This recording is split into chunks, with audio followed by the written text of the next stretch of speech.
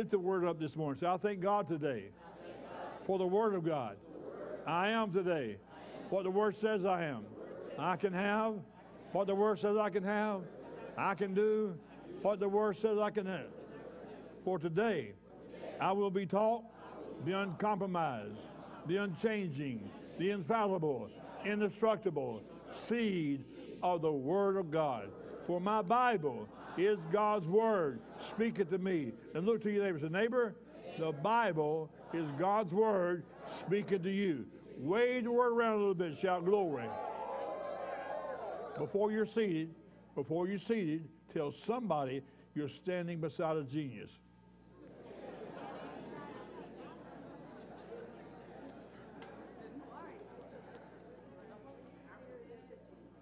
Some people try to tell you you're not smart, but we are geniuses. Why is that? Because we've got the genius living on the inside. He has all the answers. Thank God he has all the answers. And if you just talk to him sometime, he'll help you out. Amen. I love talking to the Father. I just love fellowshipping with the Father, loving on Jesus.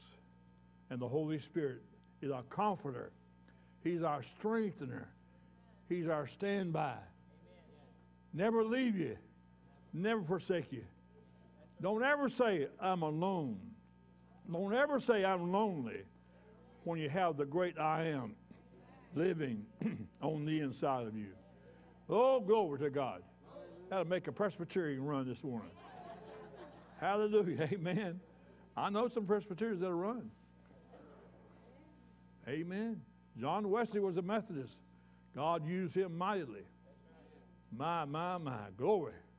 Well, if you got your Bibles, turn with me to Ephesians chapter 6. And I was told this morning this is our 12th lesson. Thank you for your enthusiasm. Somebody said, when are you going to move on to something else when you get this?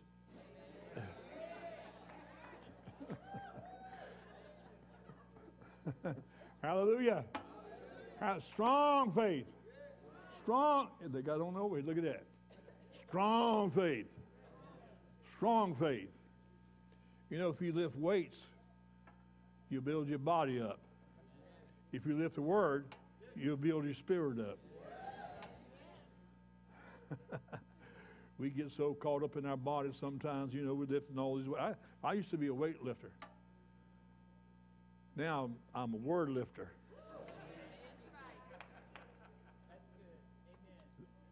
Weights will do good for your body, but the word will do good for your spirit. Whew, thank you, Lord. I didn't think about that. God is so good. Finally, my brethren, verse 10, Ephesians 6.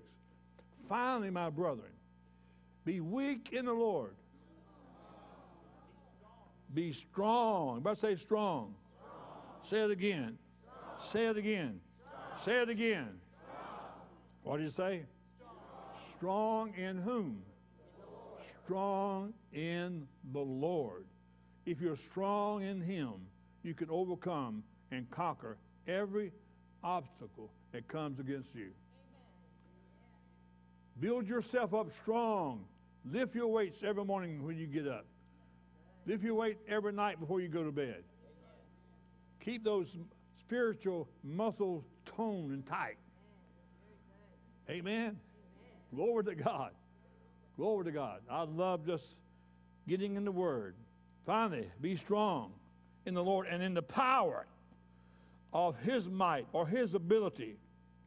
Put on the whole armor of God that you may be able to stand against all the schemes, the wiles of the devil. We're living in very deceptive times. People being deceived all the time. And the Lord, Lord has instructed me to teach on strong faith. We have faith when you get born again. You have a measure of faith. But what we're doing, we're building that measure. I don't want to be measured this low. I don't want to be measured this high. I want to be stronger in faith. Never forget what Billy Graham said years ago. Somebody asked him, said, What would you do if you had to do it all again? He said, I'll read the word more. I'll read the word more. And that has stuck with me, and we need to read the word more. You need to spend some time in Jeremiah, Daniel, Revelation. It's our time we're living in. It'll change your whole life. I like what John the Revelator said in, in Revelation chapter 1. He said, I was in the spirit in the spirit on the Lord's day. He was on the Isle of Patmos. That's where they put all the people they thought was bad. They wanted to get them out of their way. So he put them on the Isle of Patmos. They thought they would shut, shut his mouth when he put them on the Isle of Patmos. But he said, I was in the Spirit. I was in the Spirit on the Lord's day. And I'm beginning to meditate on the Lord's day. How did he know what day it was? Because every day is the Lord's day. Every day is the Lord's day. It's not just Sunday. It's every day is the Lord's day. We need to be in the Spirit every day.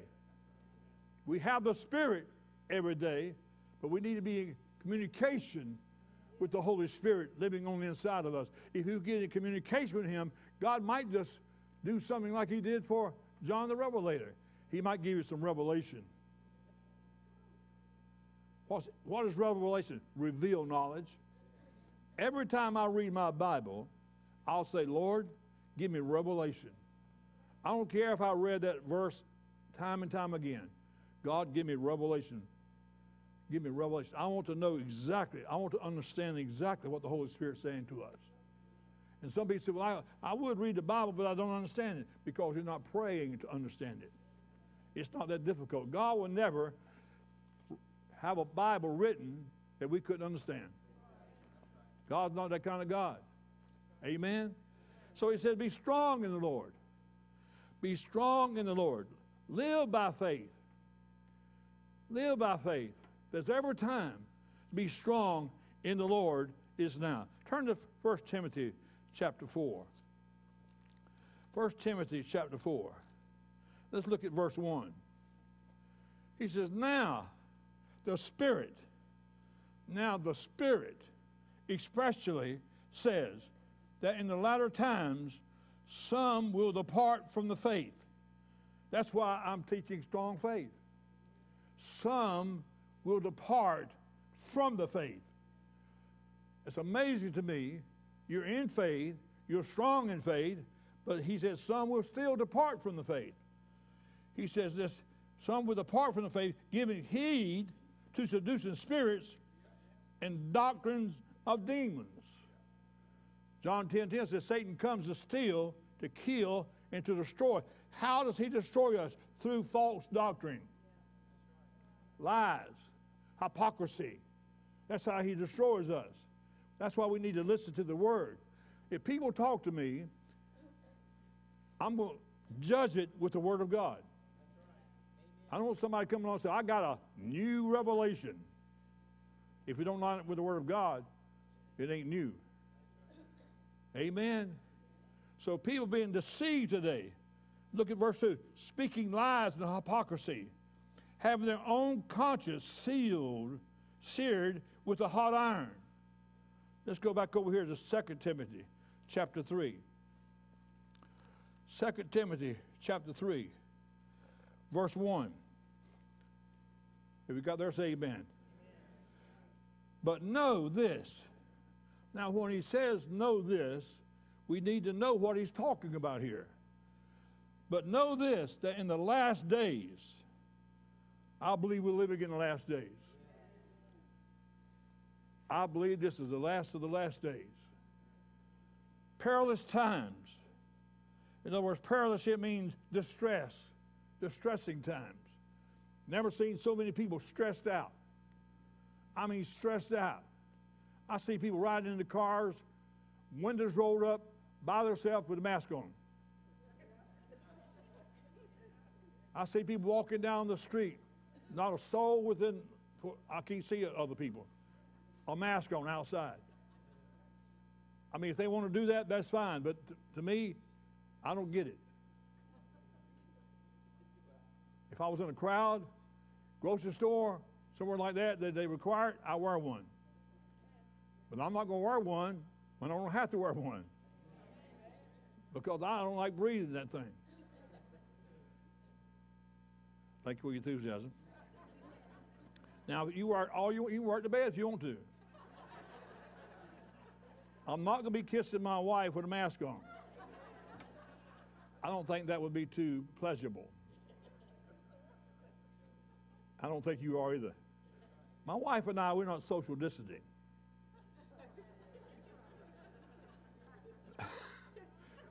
and I don't think you're social distancing. All right, moving along. That was just a side note. No charge to the side notes. But know this last days, perilous times, stressful times will come. For men will be lovers of themselves, lovers of money, boasters, proud, blasphemers, disobedient to parents, unthankful. I've never seen so many unthankful people in my life as I see now. Very unthankful people. I'm so thankful. I'm thankful for what God's done for me. I'm thankful for my family. I'm thankful for my church. I love my church. I love my church. I love my church family. I'm thankful for you. And my prayer every day is your pastor that there's anything in my life that shouldn't be there, God, I want to know about it. I want to root it out because I want to be the best pastor that I can be. I want to be someone that'll stand and tell the truth and not lead you astray. Because one day we all going to stand before God, and I don't want none of you pointing your finger, hey, God, look, see what Pastor did to me?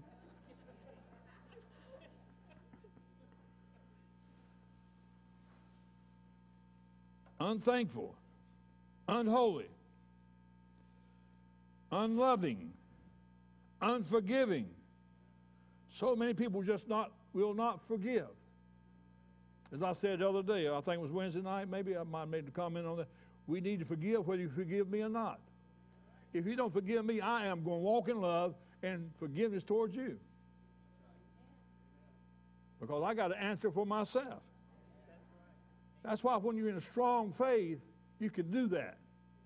But you don't need to be wish washy. One day you're strong in faith, one day you're weak in faith. How, you, how do I know that, Pastor? Listen to your words. One day you're praising God and glorifying God, and one day you say, Oh my God. What am I going to do now? He's the same. Hebrews 13 8 says, He's the same yesterday. He's the same today. He'll be the same tomorrow. There are no gaps with God. He's the same. And people say, well, you need to change this or change that.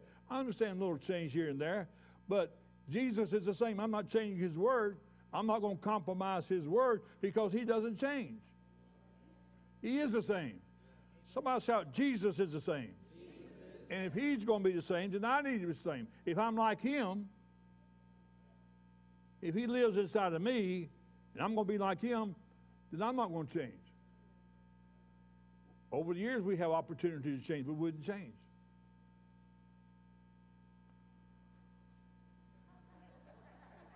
Yeah, they're still here.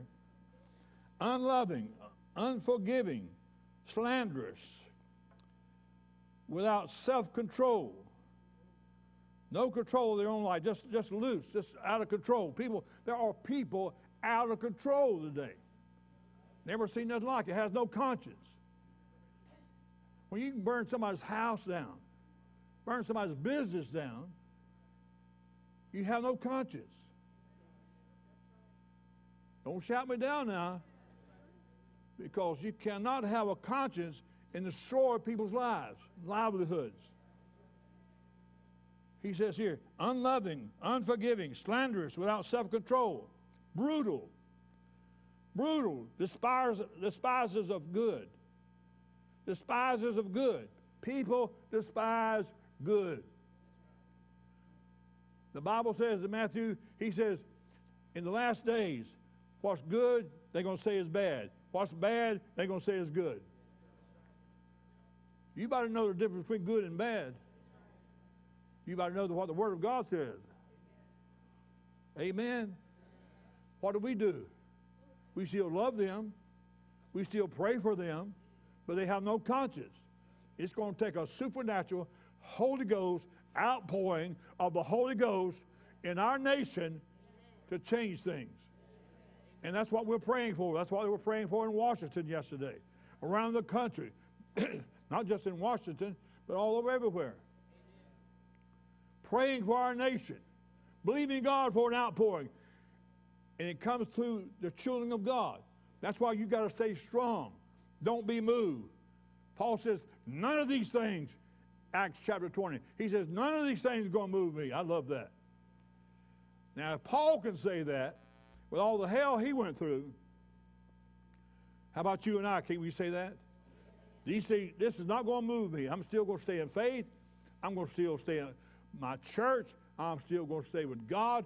I'm not going to move, be moved away. People are even turning against God right now. Christians, people that are in faith. It's sad to say. We've got to stand tall in faith, stay, stay strong in faith, and pray for these people. They're blinded. They're blinded. Their, their, their, their brains have been seared with hot iron, cauterized. They think different, act different, they talk different. I'm going, I'm going to talk the word. I'm going to talk the word. I'm going to talk the word. I'm going to speak the word. I'm going to teach the word. Amen. He says, despisers of good, traitors, headstrong, haughty, lovers of pleasure rather than lovers of God. Rather than lovers of God. They choose pleasure. They choose the pleasure of the flesh over God. Men going with men, women going with women, women going with somebody else's husband, somebody else's wife, vice versa. Don't think nothing about it. Some people think they're supposed to have four or five partners. I, I don't know how they handle that because I, I got one.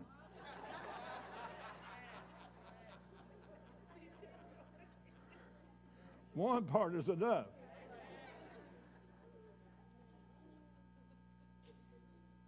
But people are changing the truth into a lie. Read the book of Romans, chapter 1, sometime. Just read the Bible sometime. It'll do you good. It'll build up your spiritual muscles. It'll make you strong in faith. How many want to be strong in faith? Be strong in faith. Meditate on the Word of God. Like Pastor Barbara said earlier. She said yesterday we were watching one group on TV, Billy, uh, Billy uh, Franklin Graham's group, and then we saw another one on our cell phone, which is Jonathan Cain. Man, I mean, they was having church. Everywhere was having church. Prayer was going everywhere, all over Washington.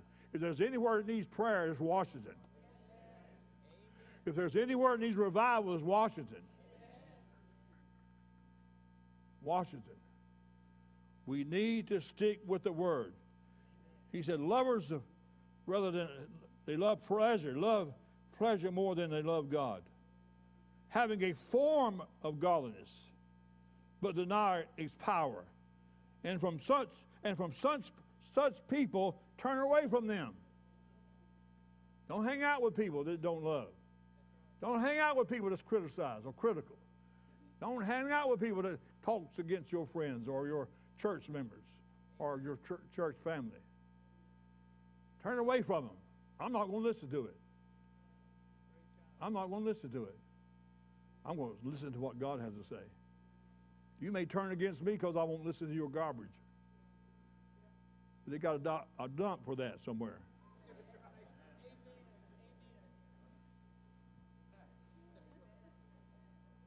Mount Trashmore. Go over and do your dumping. oh, glory.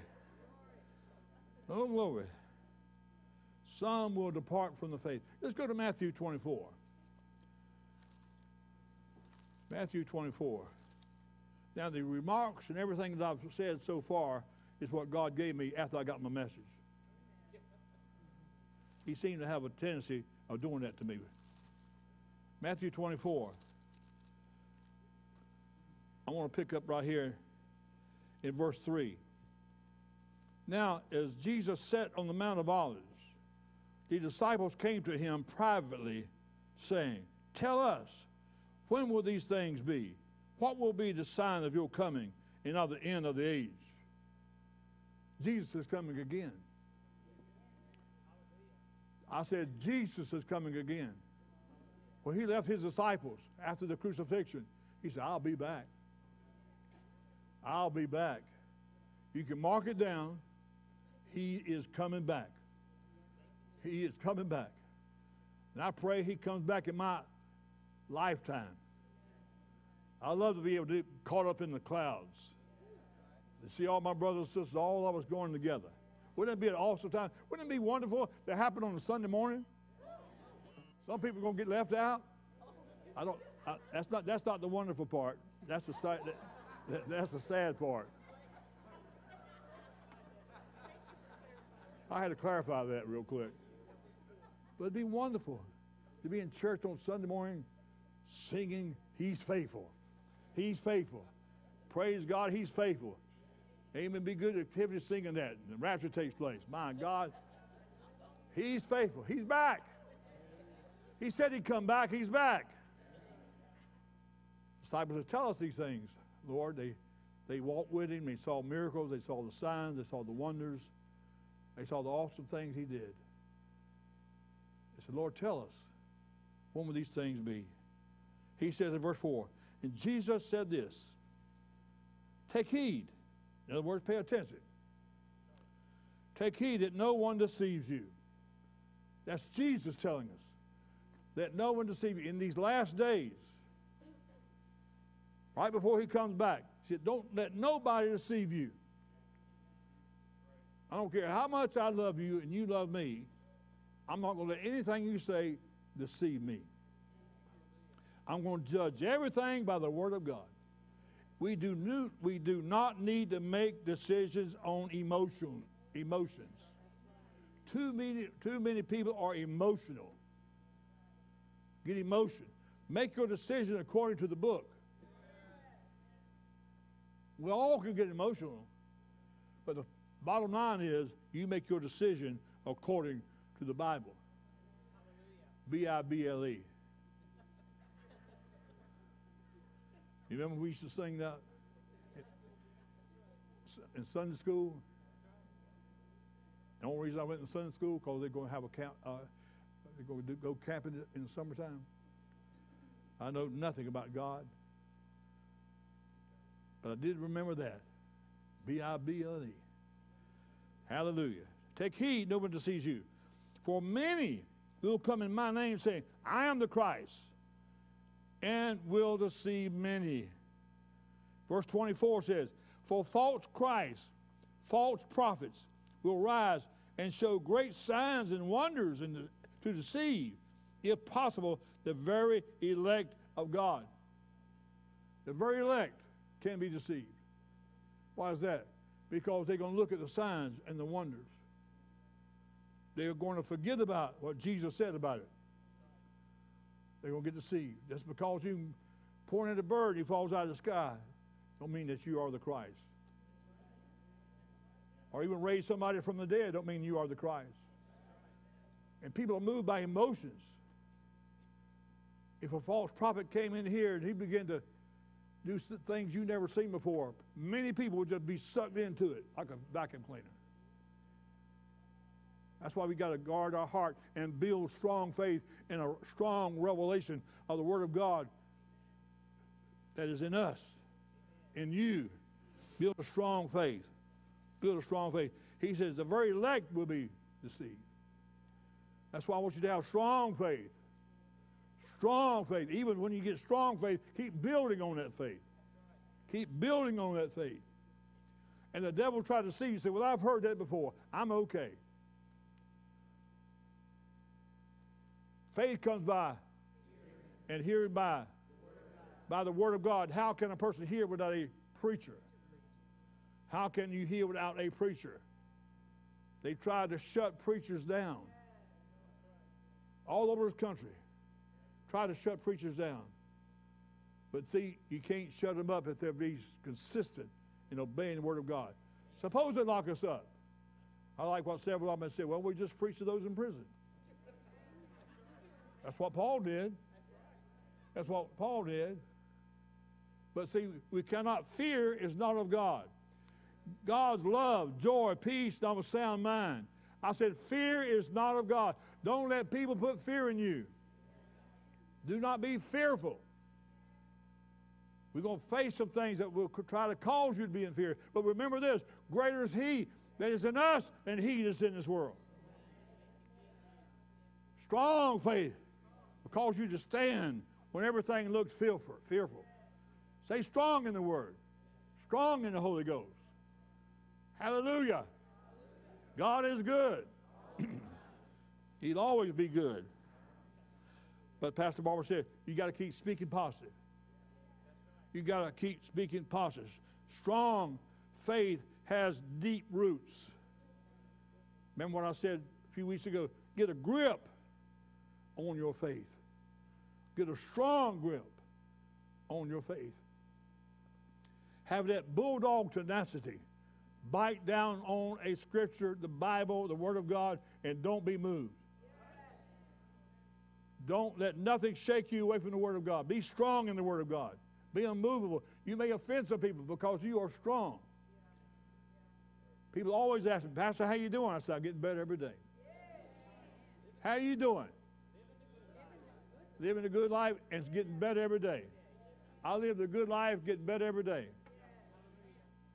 I told you this a while back, some time back, my brother said, every time I call you, you say that. Well, you keep calling, I'm going to say the same thing. he said, I know you don't feel that way every day. I said, I feel that way, but I feel that way every day. I can't help it if you don't feel that way every day. But I feel that way every day. Amen. It's just good and gooder. Better and better. We live in a glorious time. We live in the greatest time mankind's ever lived. Somebody said, Well, I like to live back there when Jesus walked the earth. No, you wouldn't.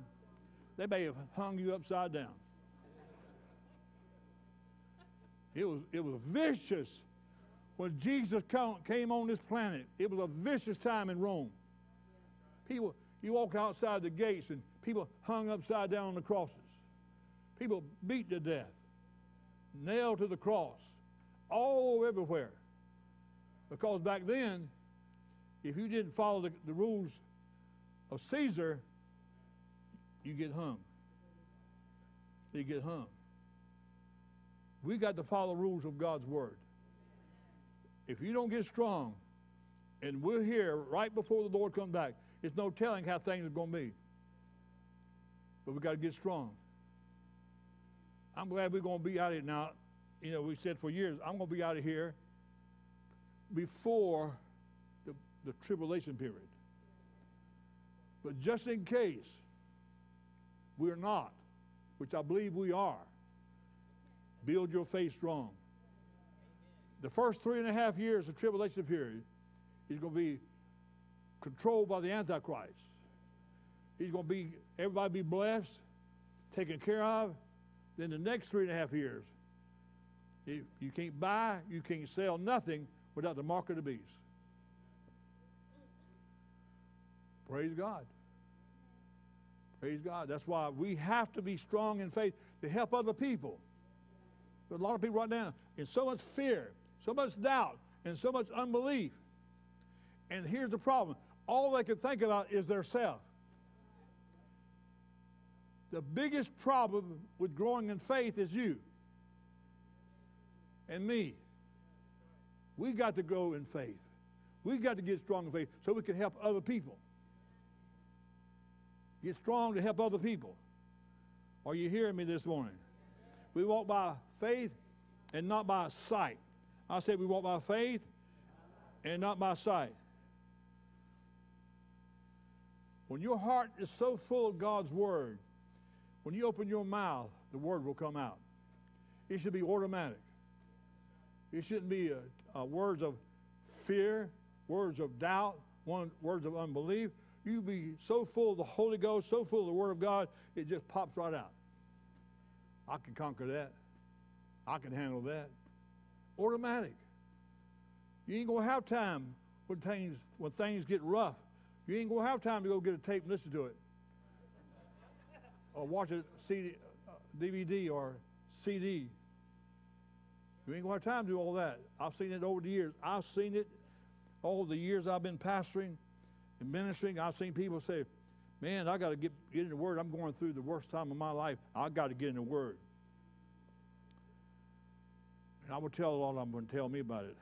Yeah, I said you should already been in the Word, but still get in the Word. God's a miracle, miracle working God, and God loves you. He can turn things around. But don't ever wait because you got a hole in your roof. You know it's there. You cannot wait till it rains to fix it. When the hole is already there, fix it while the sun is shining. Amen. Build your house on the rock, the Word of God. So when things happen, you won't falter. You won't crumble. You won't topple over. We've got to be strong. We need to build strong marriages. You need to have a strong marriage.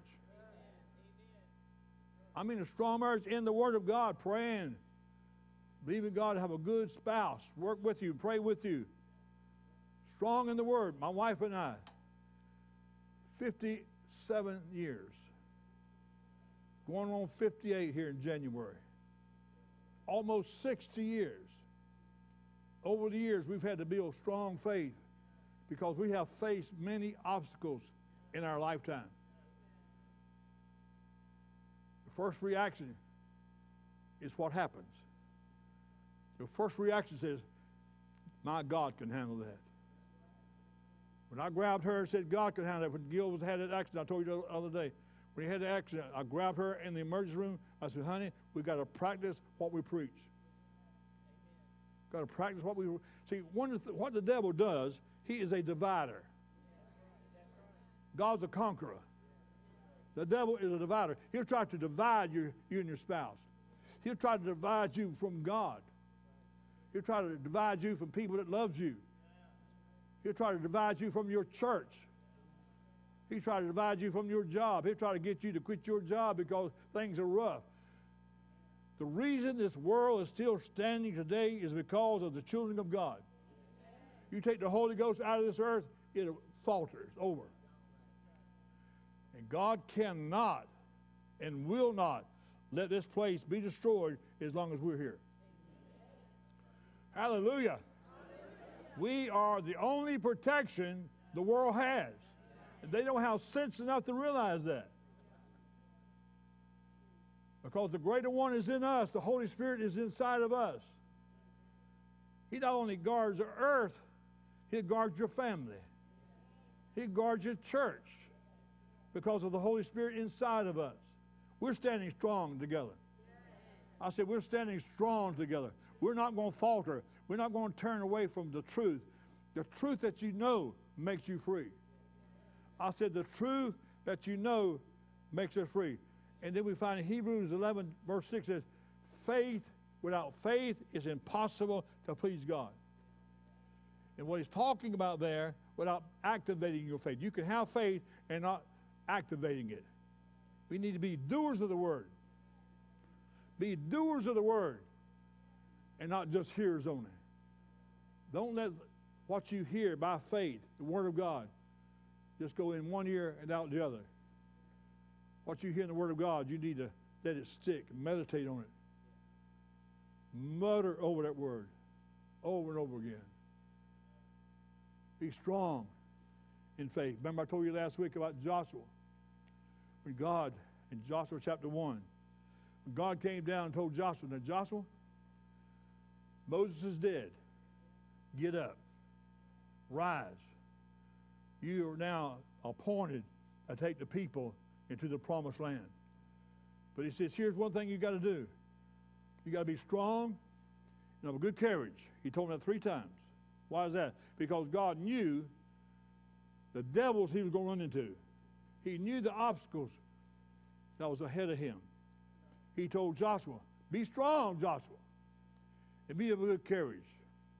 Courage means this, the power or quality of dealing with or facing danger, fear, or pain, whatever you're facing. The courage of one's conviction, the confidence to act in accordance with one's beliefs. Take one's courage in both hands to nerve oneself to perform an action. Absolute mind, disposition, and spirit. Have courage to stand in this disposition. The attitude of facing and dealing with anything recognizing as dangerous, difficult, or painful instead of withdrawing because you have courage. You've got courage, church. You got courage. He said, Be strong in have a good courage. Joshua, I know where you're going. I know what you got to deal with. I know all the obstacles over there, but just be strong. Just be strong because he, I'll never leave you. I'll be with you. Go over to God. You can march, march around Jericho and the walls will come down because you're strong and have a good courage. Strong faith will make you have good courage. Everything God told Joshua to do, he did it.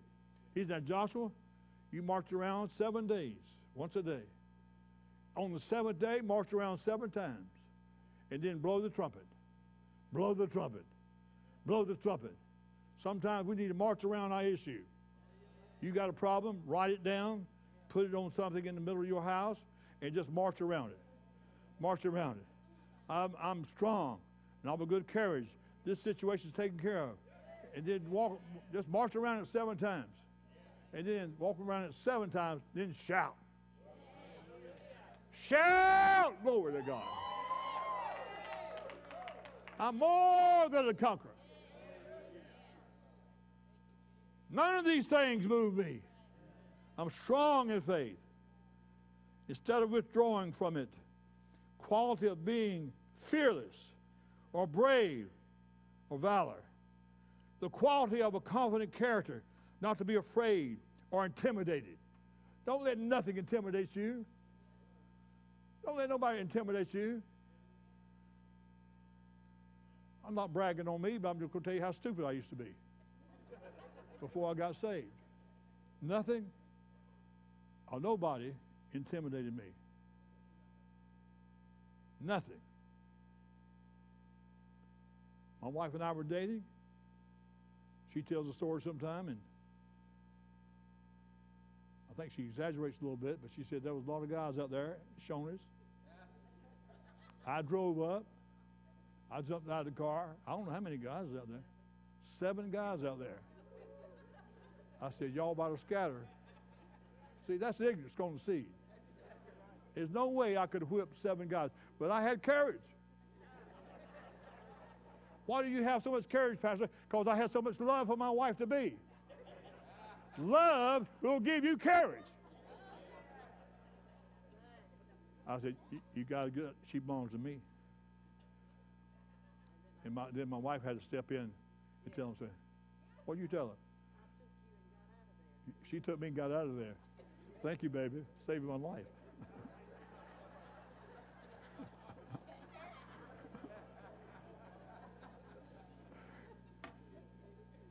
That, that was stupidity. So you can have courage sometimes in stupidity.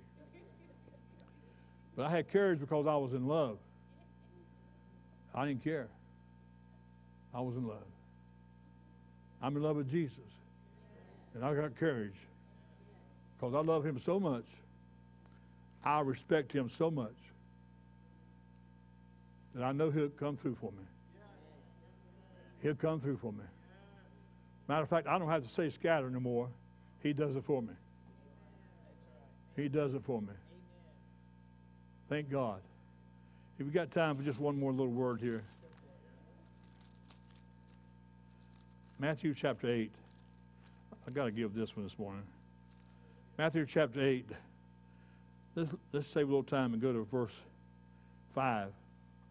Now, when Jesus had entered Capernaum, a centurion soldier came to him, pleading with him, saying, Lord, my servant is lying at home paralyzed, dreadfully tormented. He had a disease. Jesus said to him, I'll just come to your house and heal him. Now, him and Jesus have a conversation. And the man said, answered, Lord, I'm not worthy that you should come under my roof, but just speak a word, and my servant will be healed. For I'm also a man under authority. Underline the word authority here. Because what he's really talking about, he says, I, have respect and I have honor for what you're saying. Because he was a man also under authority. When you're under authority, you have respect and you have honor. When we have respect and honor, things will happen. Are you listening to me? Some people don't have no respect for nothing. Respect and honor. That's why I like people to call me pastor. Don't call me brother Phil. If that's the only thing you can remember, that's okay. Pastor's respect. That's respect. When you say brother, then you put me on a brother level. I can be your brother, but I want to be your pastor first. He says, just speak a word. Jesus, just speak a word. I'm not worthy for you to come under my house. I'm also a man under authority. I understand, I understand honor and respect. Having soldiers under me. And I say to this soldier, that one, go, and he does. And to another, come, and he does. To my servant, do this, and he does it. When Jesus heard it, he marveled. That's the only place I know where Jesus said he marveled. He was in wonder, marvel. Man, he had great faith. Great faith. When you're operating in great faith, it causes Jesus to marvel. Glory to God. I want him to marvel at my faith. He said, I haven't seen such great faith. But Jesus heard, he marveled and said to the, Surely I say to you, I have not found such great faith, not even in Israel. All the people have been around, he said, I haven't seen this yet. When Jesus sees me, I want him to say, and marvel, he's got great faith. He said, You don't even have to come to my house. There'd been all of us, any one of us. We said, Come on, Jesus, please come to my house. The soldier said, No. Centurion said, No. You don't even have to come, Jesus. Just speak a word. You don't even have to come to my house. The day he's already in your house through you. You got Jesus in your house. You've got the word. You've got everything covered. Just speak a word. Just read a word. Just gravitate to a word. Grab a word. Get a grip on a word. And begin to praise God for it.